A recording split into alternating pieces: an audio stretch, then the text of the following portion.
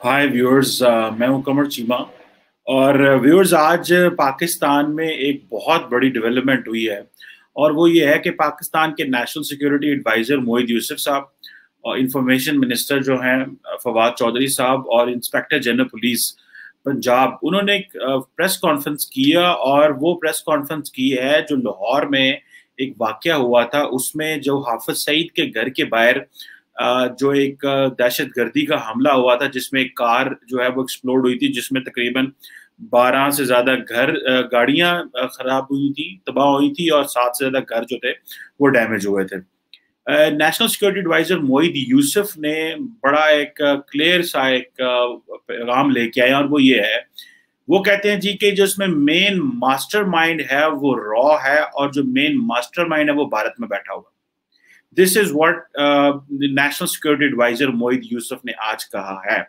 अगर इसको मैं थोड़ा सा uh, करता जाऊँ तो एक चीज़ तो मुझे समझ आती है कि जो पीस प्रोसेस पाकिस्तान के दरमियान या इंडिया के दरमियान कहीं बैकडोर पे चल रहा था यहाँ तो वो बिल्कुल बंद है और इस वक्त कुछ भी नहीं हो रहा। और दोबारा जो दोनों ममालिक हैं वो एक ऑफेंसिव स्टाइल में आ गए हैं। पाकिस्तान ये समझ रहा है शायद कि बार बार जो पाकिस्तान इंडिया को अप्रोच कर रहा था फॉर टॉक्स फॉर टॉक्स इन चीज़ों के लिए, शायद इंडिया जो है वो उस तरह नहीं कर रहा चीज़ों को। तो हमें भी जो पाकिस्तान में इंडिया एक्टिविटीज़ कराएगा, उसको हाईलाइट करने की ज़रूरत है। लेकिन यहाँ पे ये चीज़ भी आती है कि जो माजी में डॉसियर दिए गए थे इंटरनेशनल कम्युनिटी को, उसमें भी साइलेंस है। उसमें भी कोई नहीं बोल रहा। तो अगर इस तरह ग्लोबल कम्युनिटी साइलेंट है और जो डॉसियर दिए थे और हुकूमत पाकिस्तान ने ये कहा है कि हमने जो डॉसियर दिए थे, उसमें हमने ट्रांजैक्शन दी थी, रसीदें दी थी, लोगों के नाम दिए थे, सब कुछ दिया था। लेकिन अगर इंटरनेशनल कम्युनिटी खामोश रहेगी और अपने डबल स्टैंडर्ड रखेगी तो फिर हम कुछ नहीं कर सकते। ये दुनिया के मुँह पे खुद ही तमांचा है कि वो अपने डबल स्टैंडर्ड रखते हैं। This is what the national security adviser said this अभी आगे जो बताऊँ कि वो कहते हैं कि जो मेन मास्टर माइंड है, वो रॉ है एक चीज़। इसकी इंडिया की इन्वॉल्वमेंट है, क्योंकि जो मेन बंदा था, वो इंडियन था जिस, जो यहाँ पे सारा चला रहा था। अदर दैन दैट इसमें अफ़गानिस्तान का रोल इस तरह आता है। वो कहते हैं कि जो अफगान मुहाजरीन पाकिस्तान में है, जो तकरीबन तीन से चार मिलियन के करीब है, और उससे पहले भी वो ऑब्वियसली तो बहुत ज़्यादा हो गए, लेकिन जो रजिस्टर्ड है, वो तकरीबन इतने, उनमें से एक बंदा था ईद गुल। जिसके दो भाई जो थे, वो ऑलरेडी शेड्यूल फोर पाकिस्तान में एक है जो हाईएस्ट शेड्यूल है, जिसको जो, जिसमें वो अमूमन उस बंदे को रखते हैं जो दहशत गर्दी में इन्वॉल्व होता है। और ईद गुल के दो भाई जो थे, वो ऑलरेडी शेड्यूल फोर में इन्वॉल्व है, लेकिन इस बाइक का कोई ट्रैक रिकॉर्ड नहीं था। और ये जो है, ये पिशावर से गाड़ी लेके मोटरवे से होता हुआ लाहौर पहुँचा और किसी ने इसको चेक तो किया रास्ते में, लेकिन उस तरह चेक नहीं किया जिस तरह, क्योंकि इसको पंजाबी भी आती थी। He was Pathan like he was Pashto he speaking in in core he was a Afghan Muhajir था, लेकिन उसने अपनी डाटा वगैरह यहाँ से ले लिया हुआ था। अब उन्होंने कहा कि ये एक तो ये होगी कि अफ़गानिस्तान का वो ये कह रहे हैं कि हम पाकिस्तान ने अफ़गानिस्तान को कहा है और हमने बता दिया है कि आप जो है वो इस पे आपके ये लोग मुलवस हैं और हम इन लोगों को वापस भेजना चाहते हैं। और और इंटरनेशनल कम्युनिटी से भी पाकिस्तान ने कहा है कि आप इन लोगों को वापस लेके जाएँ। United Nations High Commission for Refugees के ऊपर भी बात हुई है कि जी आप इन लोगों को वापस लेके जाएँ स्लोली स्लोली क्योंकि हम अफोर्ड नहीं कर सकते इनको रखना, क्योंकि अब ये उनमें से जो तीन चार मिलियन अफगान रेफ्यूजीज हैं, उनमें सारे के सारे दहशतगर्दी में इन्वॉल्व नहीं है। ऑब्वियसली उनमें बड़े, थोड़े लोग होंगे जो इस तरह की हरकतों में इन्वॉल्व हैं। तो लेकिन भेजना सबको ही पड़ेगा स्लोली स्लोली ताकि वो एक क्लैरिटी हो सके एक बात दूसरा जो नेशनल सिक्योरिटी एडवाइजर ने बड़ी काम की बातें बताई, उसमें ये उन्होंने कहा कि जनाब साइबर अटैक्स हो रहे थे उस वक्त पाकिस्तान में। जिस वक्त ये लाहौर वाला वाक्य हो रहा था साइबर अटैक्स उस वक्त पाकिस्तान में पीक पे थे और साइबर अटैक्स पीक में थे और जब पाकिस्तान ये इन्वेस्टिगेशन कर रहा था पाकिस्तान ये इन्वेस्टिगेशन कर रहा था इन, इस केस की, क्योंकि उस वक्त में जारी बात है सिंध गवर्नमेंट से भी रबता करना पड़ा, पंजाब पंजाब भी के पी भी इन्वॉल्व था तो दोनों तीनों सूबे जो इन्वॉल्व थे प्रोविंस हमारे इन्वॉल्व थे तो उन तीनों प्रोविंसेस को देखने के लिए जो कांटेक्ट हो रहे थे ऑनलाइन रबते हो रहे थे, जो काउंटर टेररिज्म डिपार्टमेंट है, पंजाब का, वो भी इन्वॉल्व था चीज़ों को समझने के लिए। तो उस वक्त हमारा जो इंफ्रास्ट्रक्चर है साइबर इंफ्रास्ट्रक्चर है, उस पर बड़े शदीद हमले हो रहे थे।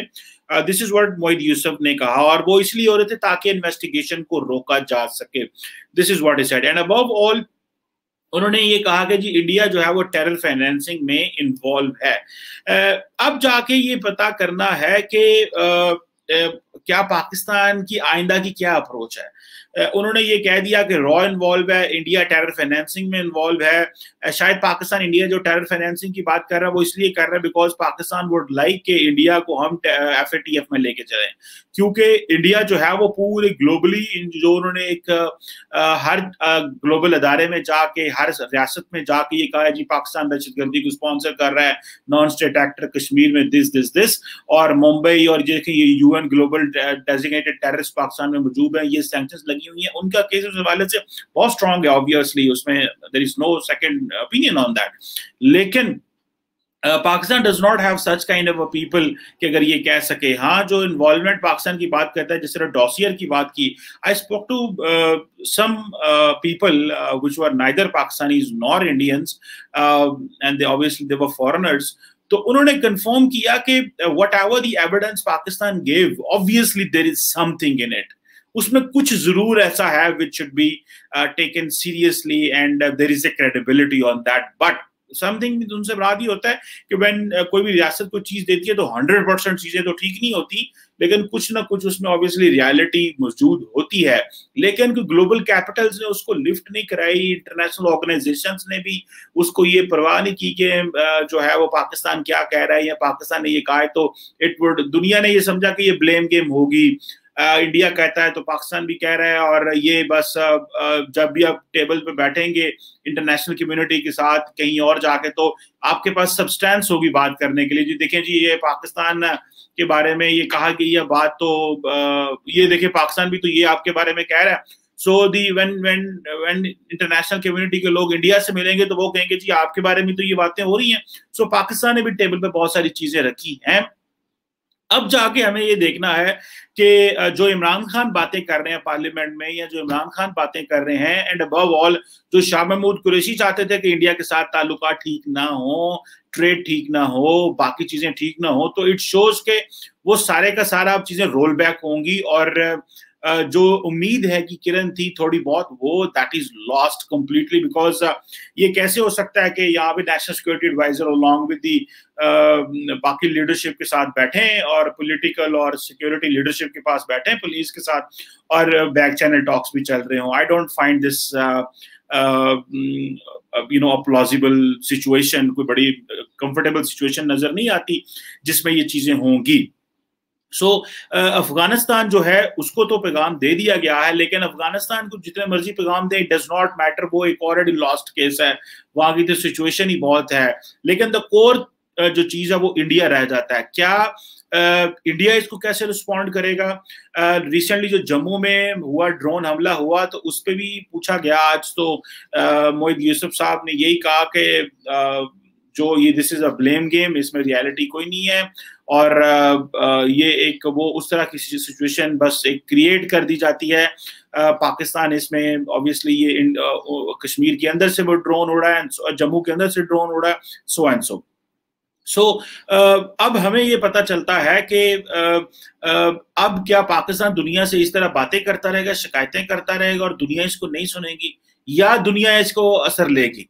ये है वो एक पॉइंट जो पाकिस्तान इंटरनेशनल कम्युनिटी से एक्सपेक्ट करता है। This is what Mohit Yusuf and others want के हमें इंटरनेशनल कम्युनिटी बताए कि क्या हमें कोई रिस्पॉन्ड रिस्पॉन्स मिलेगा हमारी बात सुनी जाएगी हमें uh, uh, सुना जाएगा या हमारे कंसर्न्स को एड्रेस किया जाएगा कि नहीं किया जाएगा? या कि फिर हमेशा भारत के कंसर्न्स को एड्रेस किया जाएगा? क्योंकि पाकिस्तान ये समझ रहा है कि बहुत सारी चीज़ें पाकिस्तान में बेहतर हो रही हैं। F A T F almost हम निकल रहे हैं अमेरिका से। आ, हमारे जो ताल्लुकात हैं वो जिस तरह के भी हैं लेकिन पाकिस्तान एक ऑफेंसिव अप्रोच लेने की तैयारी कर रहा है। और ऑफेंसिव अप्रोच लेने की जो तैयारी वो जो एक डिफेंसिव खेलता रहा है पूरी लाइफ और जिस हर दौर में अभी वो अप्रोच मुझे ऐसे लग रहा है this is what I am feeling जो है कि एक ऑफेंसिव अप्रोच लो। टारगेट करो, जो चीज़ें हैं वो दुनिया के सामने रखो, जो दुनिया हमारी बात नहीं सुनती, उनसे हमारी जो कनेक्टिविटी है, उन चीज़ों को छोड़ो, क्या हो रहा है, अमेरिका क्या कह रहा है, हमें they won't ignore us they won't ignore Pakistan come what में हमें थोड़ा टाइट रह के, थोड़ा ऑफेंसिव रह के इनसे डील करना पड़ेगा। भले अमेरिका हो, यूरोप हो, हम और ममालक से, हमें कोई हर मुल्क जो है वो छोड़ तो नहीं सकता। कोई ये तो नहीं कह सकता कि जनाब आप क्या हमें कोई इल्ज़ाम लगा सकता है। हमारे साथ लोग इंगेज भी कर रहे हैं।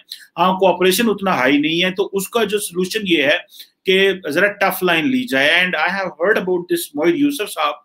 I haven't met him but I have spoken to people to whom we have met और उन्होंने यही कहा है कि whenever he comes in he speaks tough he speaks hard जो कि मेरे लिए एक न्यूज़ भी थी और अंडरस्टैंडिंग के लिए काफ़ी मुझे समझ आई कि ही इज़ वो एक टेक्नोक्रेट है, अमेरिका से आया है, पाकिस्तान और पाकिस्तानी गवर्नमेंट ने उनको बुलाया है, इमरान खान ने और सिक्योरिटी लीडरशिप ने उनको बुलाया है कि वो आके पाकिस्तान का एक प्रॉपर केस जो है वो इंटरनेशनल कम्युनिटी के सामने रखें, क्योंकि Moeed Yusuf has good contacts in USA और उनके बारे में कहा जाता है, क्योंकि वो यूएसआईबी में वाइस प्रेसिडेंट थे तो अमेरिका काफ़ी देर रहे हैं तो वो एक उनके बारे में अप्रोच है। सो so, और क्योंकि इंटरनेशनल मीडिया भी आज बैठा हुआ था उनको भी पैगाम चला गया। इंग्लिश में भी बात की उन्होंने उर्दू में भी बात की। So this is something which is very important first time एक इस तरह की टफ लाइन ली जा रही है। For India for Indian involvement in Pakistan और जो इंडिया अगर वो कह रहे हैं ब्लेम करेगा तो हम भी जो एविडेंस है, उसको फुली प्रेशराइज करेंगे प्रेशर डालेंगे एविडेंस लेके ग्लोबल कम्युनिटी के पास जाएँगे, क्योंकि पाकिस्तान ये समझ रहा है कि अगर हम ये लेके जाते रहेंगे तो at the end of the day they will have to listen us they will have to listen us that's the only way और पाकिस्तान शायद ये समझता है कि अगर हमने प्रेशर डालते रहे इंडिया के ऊपर इस तरह के तो that's how India can come on table India इस तरह टेबल पे नहीं आएगा, क्योंकि इंडिया वो कहते हैं ना कि even adversaries like you to be strong and you to come from a position of strength adversaries भी जो ये नहीं पसंद करते कि आपका जो एडवर्सरी है वो कमज़ोर हो वो वीक हो। वो कहेंगे कि आपका जो एडवर्सरी है वो तगड़ा हो ताकि उस हिसाब से उससे बात की जाए। So this is what we call the battle lines have been drawn and a situation will not remain normal and situation is getting tough uh, and uh, there is a probability कि अगले दो साल इमरान खान साहब जो है वो इसी तरह ही टफ लाइन गुजारेंगे। Until and unless there comes a message from India for a talks, but all those talks will be in the back door room होंगी। अगर इंडिया से कोई पैगाम आता है कि भैया पाकिस्तान भी वो टफ लाइन ले रहा है तो बात करने की ज़रूरत है। और पाकिस्तान, क्योंकि पहले तो पाकिस्तान ये समझता है कि इंडिया को फ्री हैंड मिला हुआ था, जब मर्ज़ी, जिसको मर्ज़ी जो है वो दुनिया को बता दिया and they will keep pressurising us and they will keep talking about Pakistan and Pakistan will be keep justifying sorry sorry sorry और जस्टिफाई uh, करते रहेंगे this needs to stop now this is what i find an approach from pakistan let's see how this approach is successful or not and what are the outcomes of this thank you